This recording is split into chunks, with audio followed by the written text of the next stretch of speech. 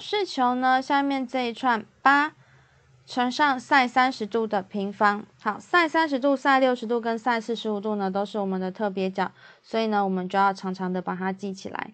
三十度、四十五度跟六十度。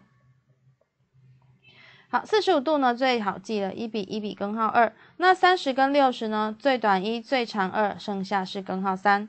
最短一，最长二，剩下是根号三。所以，我们来看我们的式子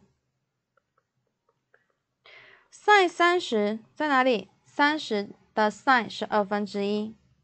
好，那平方呢，我就把它写在外面喽。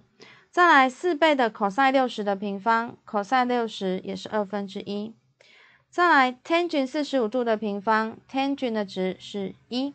好，所以我就可以算了，八乘上四分之一。加上四乘四分之一，加上二乘一，所以二加一加二，我们的值呢就是等于五。